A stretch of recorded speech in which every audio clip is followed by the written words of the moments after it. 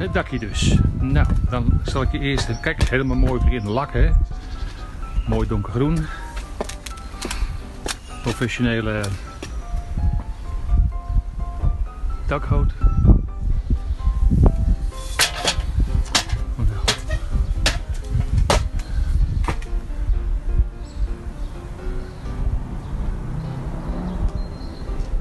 Helemaal met rubber beplakt. En dan komen er straks nog plantjes op. Mooi hè? Doei!